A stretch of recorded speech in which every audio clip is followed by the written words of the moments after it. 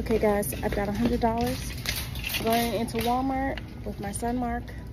Walmart is always talking about how it is uh, everyday low prices. So the kids need shorts. Socks. Um, okay, the kids need shorts and socks and a couple of shirts. And I'm gonna see if I can get four kids at least two or three of each with this $100 bill.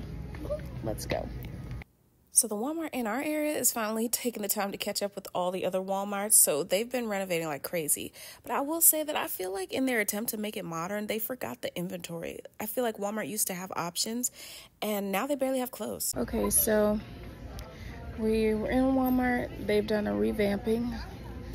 if you can see, they're more like boutique style now.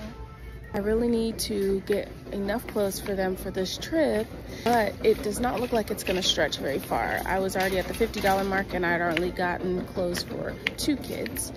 So we're going to try Primark and see if we can find some deals there. Okay, so sometimes things don't go according to plan. Uh, we went into Walmart and we thought you know they have everyday low prices but i think walmart has forgotten its motto because we definitely uh, the prices were similar to target and they did not give you the same quality that target gave. And so now we're going to try to stretch our dollar elsewhere.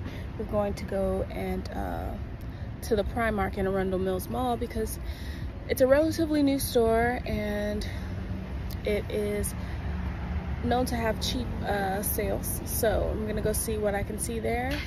If all else fails, I can always hit a thrift store. So let's go. Okay, so Primark was better, but they had already switched to fall and winter clothes. I mean, sweatshirts, hoodies, and long sleeves, y'all. I sweat just walking into the store from my car. We're good on warm clothes for a few months, Primark. We still have some summer to go. Needless to say, finding summer clothes for our trip was tough, but I managed to get some reasonably priced items. And I realized while I was shopping, I didn't need to get something for every kid, so I focused on the two who needed it most. After buying everything at Primark, we stopped at Old Navy on the way out. Y'all tell me why I found everything I was looking for and it was cheaper. I've been thrifting so much that I forgot the art of shopping around, but I ain't gonna forget it again. Okay, Marky and I conquered something today. Marky was my accountability. We had a $100. We went to Walmart. We went to Primark and we shopped at Primark and we came in at what price did we come in at?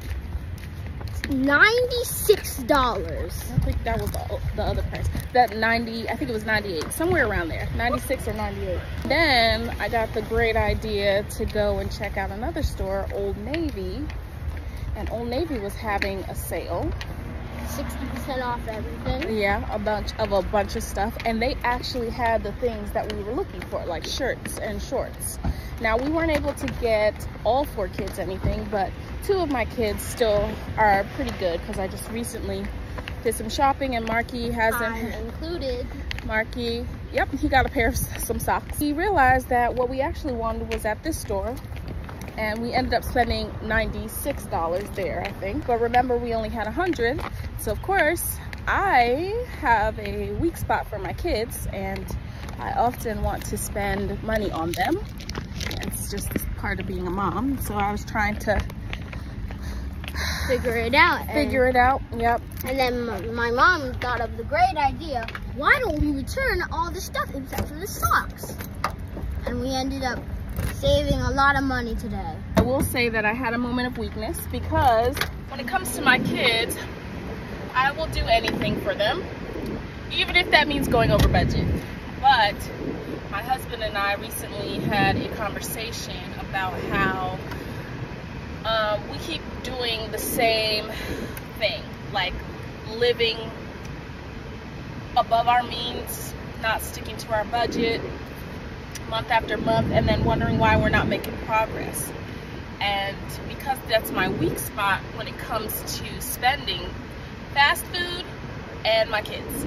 I will spend any amount of money on either of those two categories without any regrets because I figure my kids need the clothes and I don't even buy designer so you know I'm not spending a ton of money maybe a couple hundred here months every four months and I had a moment of weakness sitting in that chair I even called my husband and was like babe they really need the clothes I I we could make it work we could figure out, we could take it from a different line in our budget.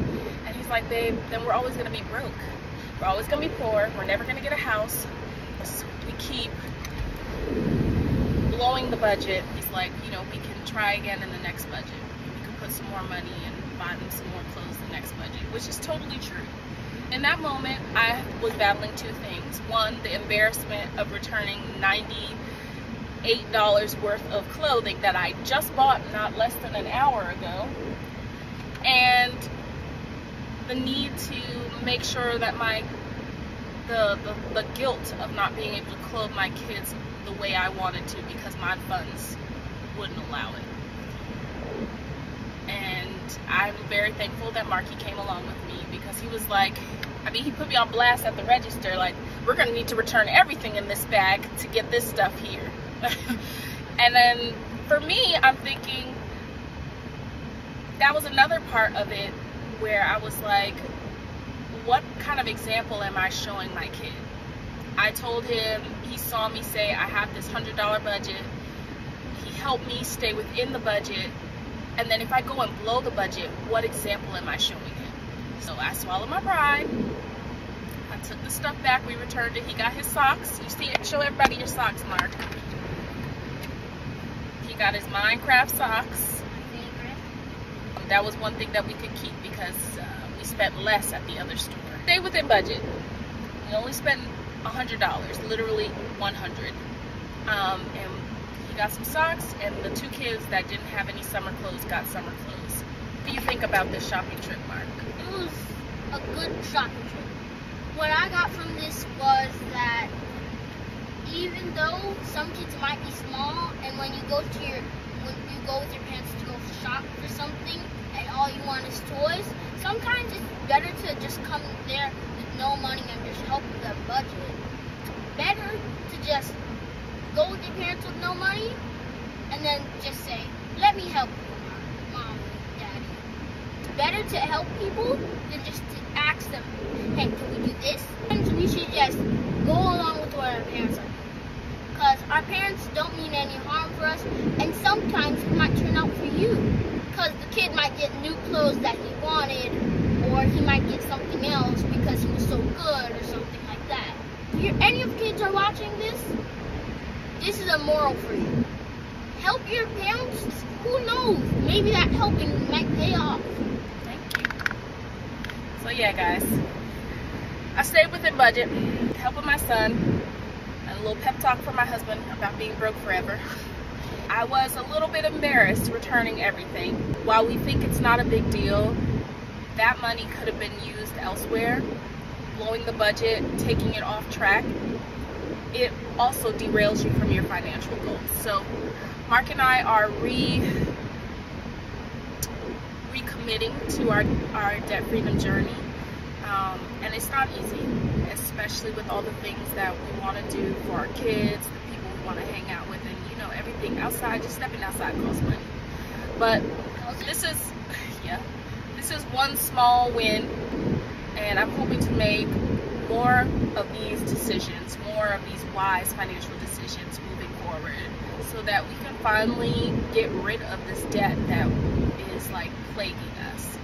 So yeah, thanks for joining us today as we uh, were on the adventure to find good clothes Yes. under budget. under budget. Bye.